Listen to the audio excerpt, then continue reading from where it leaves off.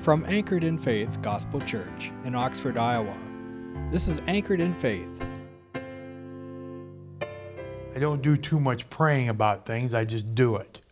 I make things happen. And uh, somehow it all works out. Somehow I feel, I feel like the Lord was in it because uh, I feel like I'm directed, if you know what I mean by that. Um, but the statement that I've heard lately is the storms that Satan created in your life are nothing compared to the storms you can create against him.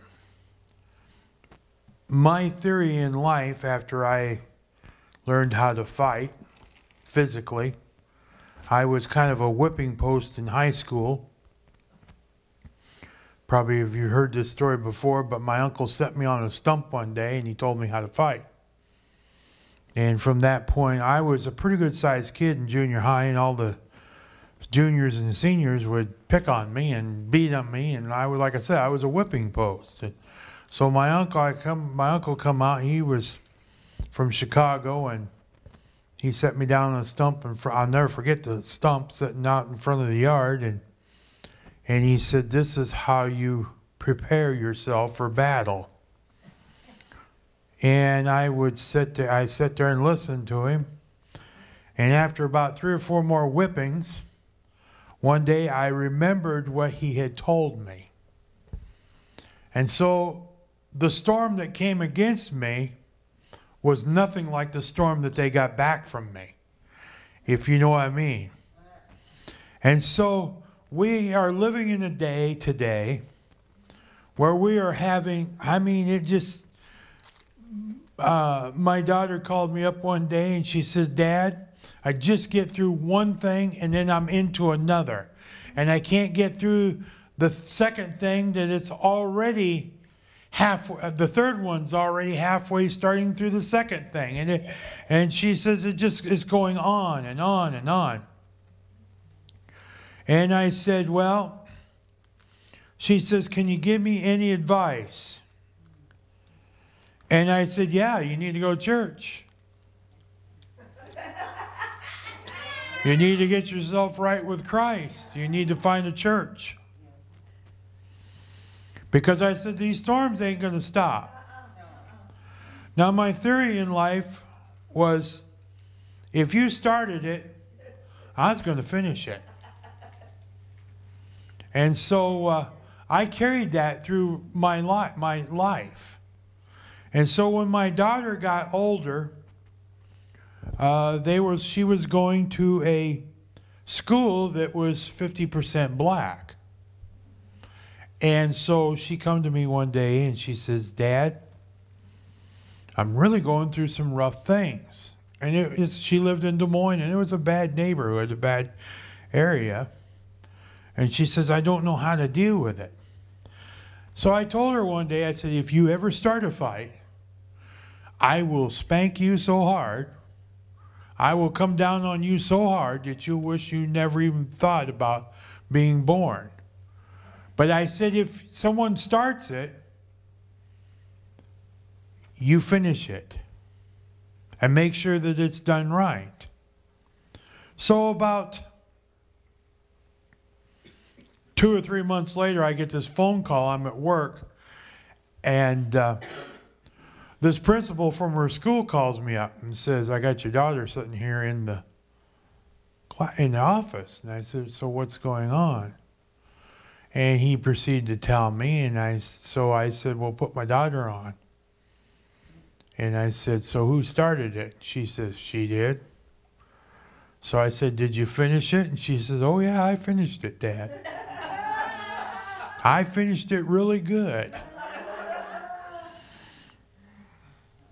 I said, "So tell me what happened." And so she told me what happened right in front of the principal. And so I said, Give me back to the principal. And I got the phone to the principal. And I said, Now, is that what the story is? And he says, Yeah, that's pretty much the whole. And I said, So what are you proposing? He says, I will, uh, I'm planning on suspending both of the girls for three days. And I said, No, here's the deal. You can suspend the first girl, but I said, if you suspend my daughter, I said, I'll come down and finish it. Because I said, I'm not going, you're not going to take, and you see, if the devil's going to come at you, let's get this figured out. If the devil's going to come at you like a storm, which he does, I think we only have a right to have a bigger storm. I think we have a right to conjure up a storm like he ain't never. Listen, you've heard this statement a hundred times. I know you have. The devil comes and reminds you what you did in the past, but you need to remind him what's going to happen to him in the future. The devil's going to come and bring on some storms, but it's time that you brought on your own storm. We need to come to a point in our mind where we look Satan in the eye and we say, You think you're bad. You think you're tough. You ain't seen nothing yet. And some people would say, Nah, you just can't say that. Well, why can't I say that? If, if I'm a born again Christian and I have the Holy Spirit working through me and I love God with all my heart, do not tell me that you can't read in the Old Testament hundreds of areas where the prophets or the leaders in the Bible whipped their enemies. Amen. That's right. Tell me, just show me a place where they they didn't whip their own their enemies. So when Satan came and brought, let's just take one off the top of my head. Let's just take Moses. So he's got the people free. We won't even go into all the other things that, that the Lord tried to explain. You know, Moses tried to explain to what's going to happen to it. We won't even go in that. We'll just go into detail of where Moses has his people free. They're at the ri- they're at the river, and they're trying to get across, and they've got the, the Egypt coming at them. And, and here's the normal thing of Christians what are we going to do? We should have stayed there. We should have continued being a slave. We should have continued letting Egypt beat us. We should have continued. We'd have been better off. How could you do this to us, Moses? How could you take and bring us this false prophecy? How could you even tell us that there was another place that we could go to that could be our land? How could you? What are you doing? Now, this is a pretty good sized storm.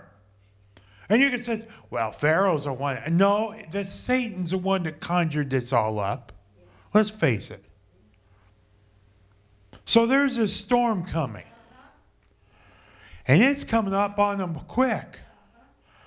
So what did Moses do?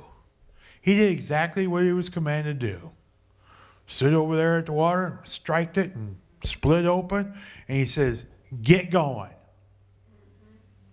Now, they're going across. And, and it is not enough that he gives, God gives them an escape route. He takes and he creates a storm. They thought, they, Satan thought he had a storm. He didn't see nothing until Israel got across. And then Moses just said, close her up. Think about that. Was that not a bigger storm? You see, God, God can create a bigger storm than the storm that's coming at you. And then you've got, listen, I think it's kind of funny because every once, you know, we have these problems. Lord, we have these problems. We have these things where people come and they remind us. I had some people remind me a couple months ago some of the stupidity that I did some of the things I did in my life.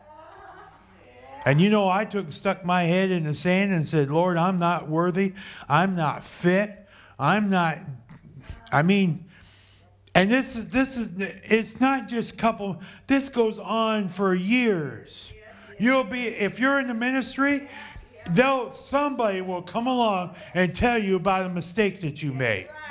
And they will rub it in. Just they'll just just just like a handful of salt and throw it right in and just grind it right in there.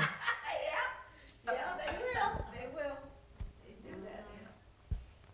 Ministry is the hardest place in the world to work in because everybody wants to crucify you. Satan wants to remind you of some of the things that you made mistakes on. And I'll tell you, I remember them all. I don't need him to tell me. I remember a lot of my mistakes. I remember some mistakes in my ministry. I remember some mistakes I made in the church. I seen that I lost in places. I got in trouble in some areas. And Satan still to this day, I don't even have a church and to this day. I think about getting it building another church, and he reminds me of those things. And I have to sit back, and you know, it really gets on.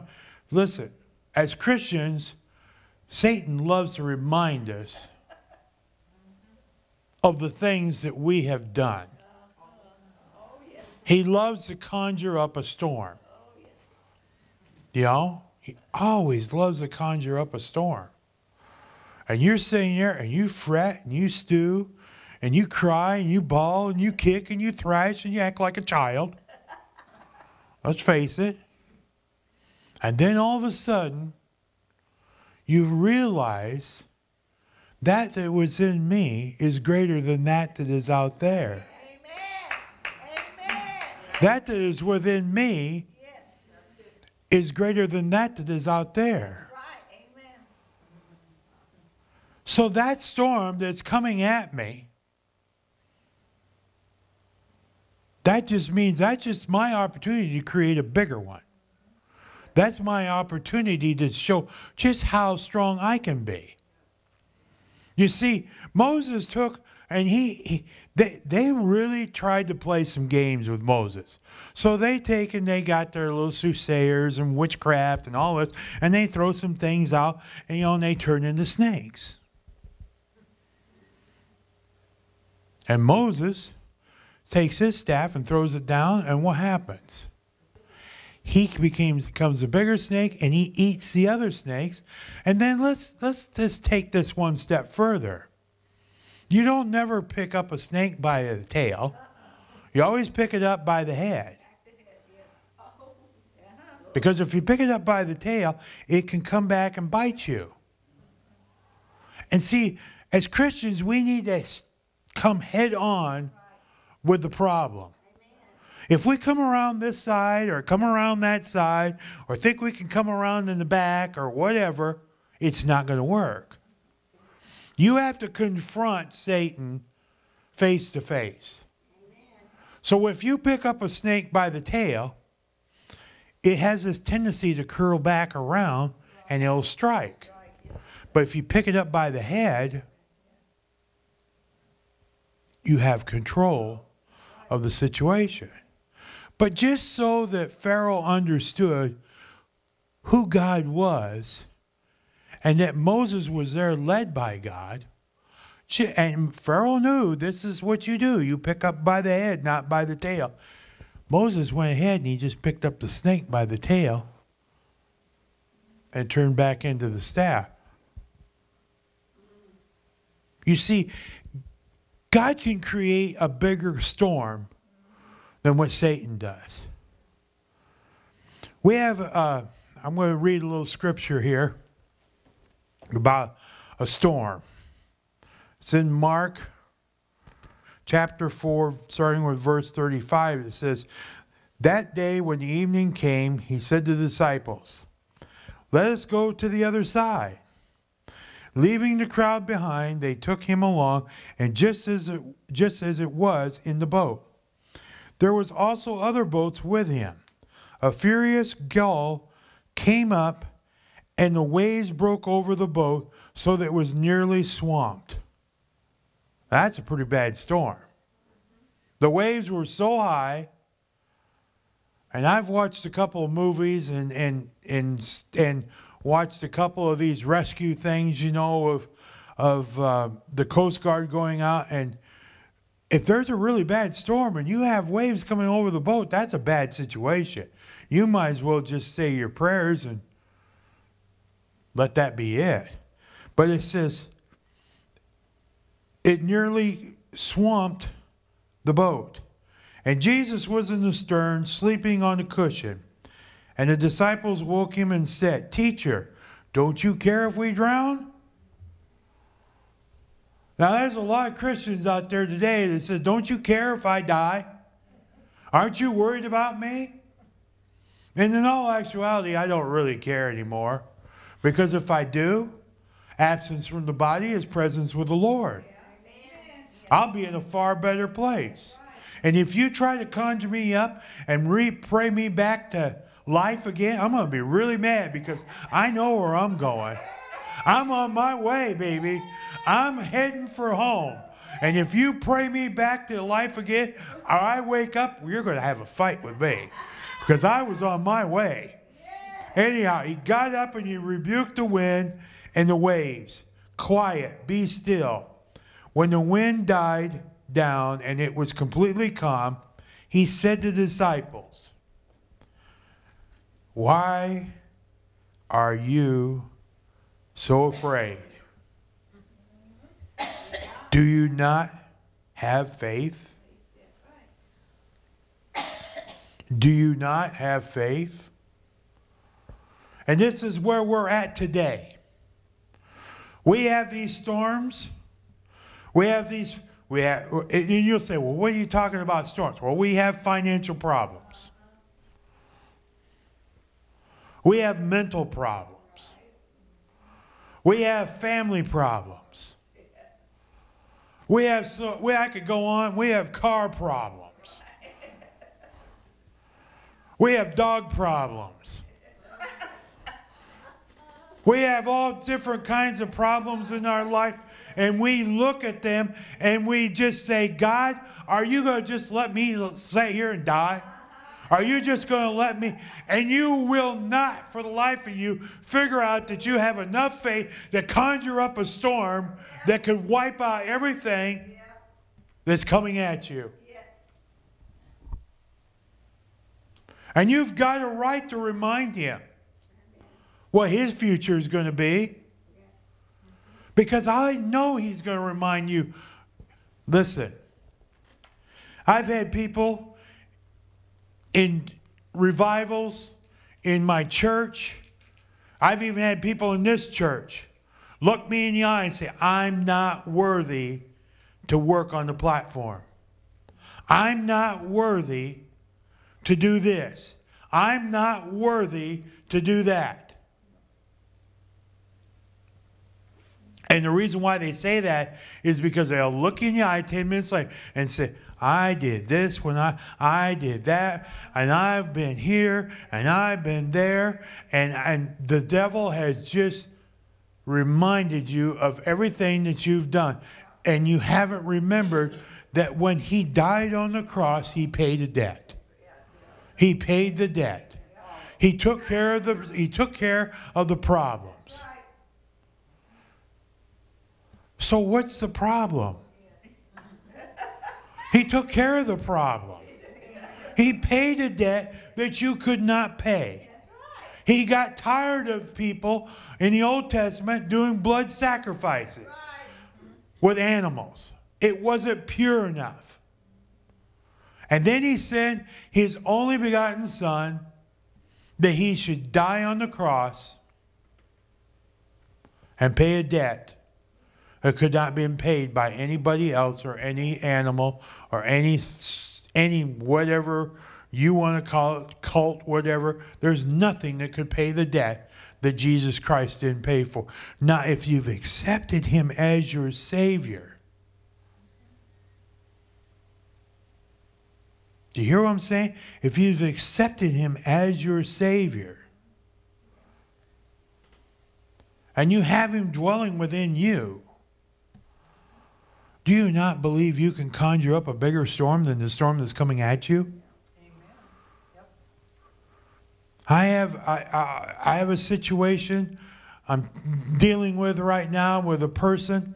I won't bring it up or any names or anything because it just is, I just won't do it.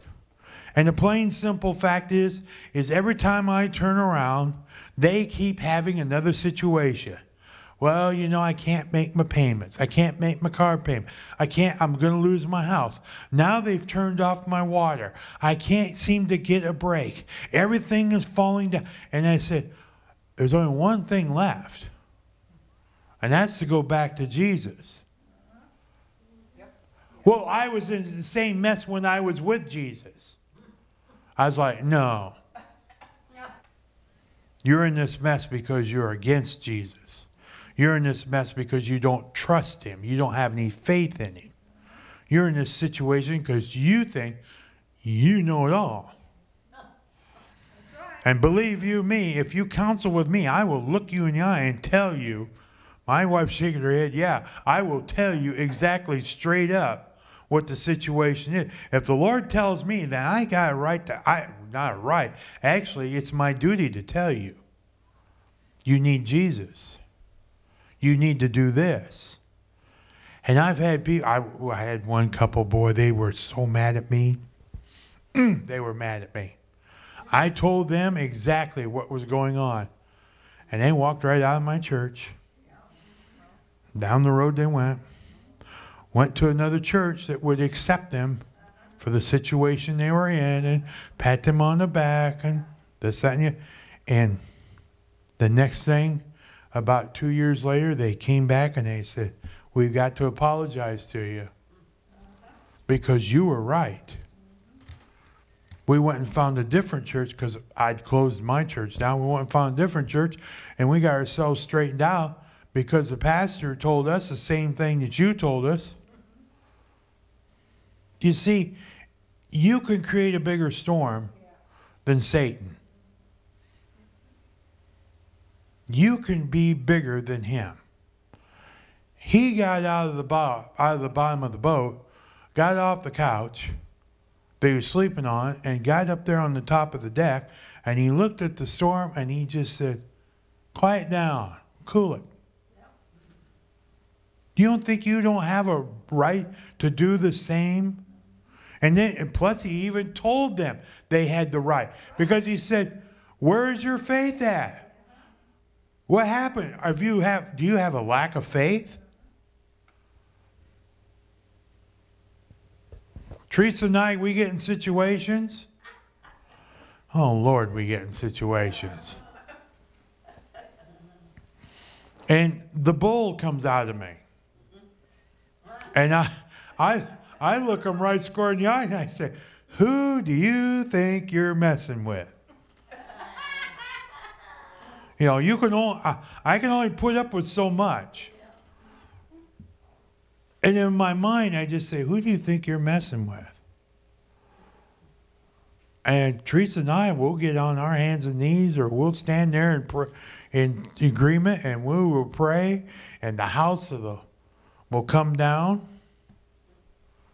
You know, and we we've we're doing things right now that I only I I wouldn't even dreamed I could have done. And Satan keeps throwing more crap. He keeps reminding me. And Teresa and I, we've been reminding each other this is where we were, this is where we're at, and this is what we're trying to get thrown back into. And we're fighting a battle. And everybody says, Oh, your life is so grand.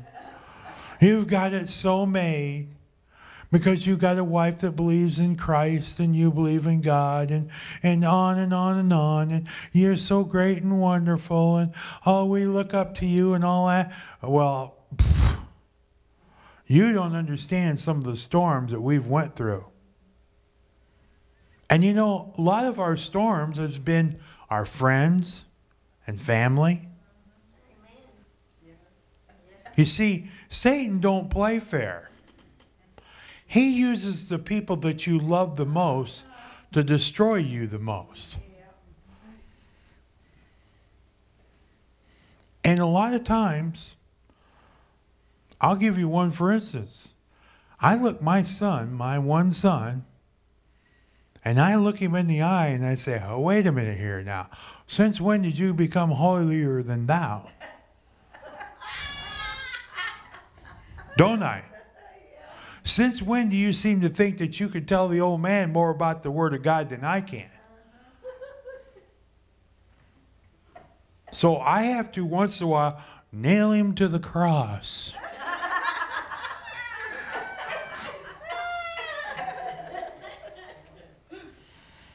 And you know what? The funny part of it is he gets down every time. But you know, here's the great here's the thing about it. he has enough of God in him and enough of of spiritual in him that when I knock him down and I tell him which way the butter is going to be spread on the but on the bread, about four to 24 hours later, he comes into the house. Is this not true? He comes into the house, puts his arms around me with tears in his eyes, and he says, Forgive me, Dad.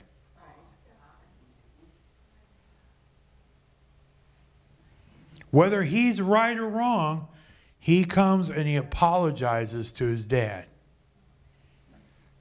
I'm just trying to tell you, you think that you have big storms coming in your way. You ain't got nothing.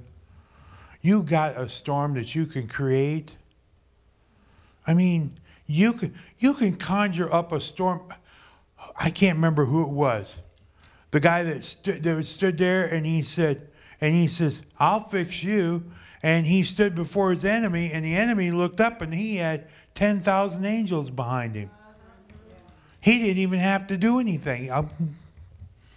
I brought my crew with me, you know, as they say in the hood. I brought my crew with me. You can bring your crew with you. God will allow you to bring a crew. God will allow you to swallow up the snakes that's attacking you. You see what I'm saying?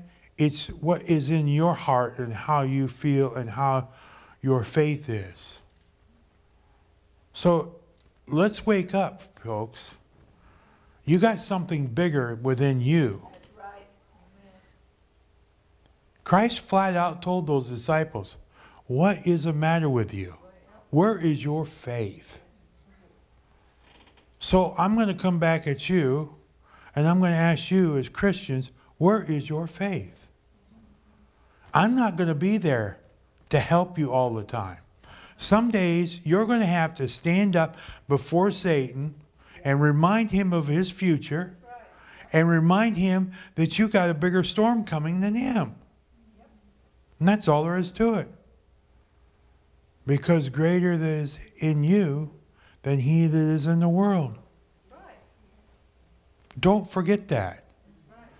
Greater is he that's in you than he that's in the world. It's just that simple. Sick 'em. You can always conjure up something bigger through Christ because he's on your side. Remember, he's on your side. Unless you turn your back and walk away, but he's always on your side. Amen. Full sermons are available anytime at www.anchoredinfaith.org. Contact us by calling 319 828 4815 or write us at Anchored in Faith, P.O. Box 204, Oxford, Iowa 52322, or email us at tv at anchoredinfaith.org. This has been a copyrighted presentation of Anchored in Faith Gospel Church, Oxford, Iowa.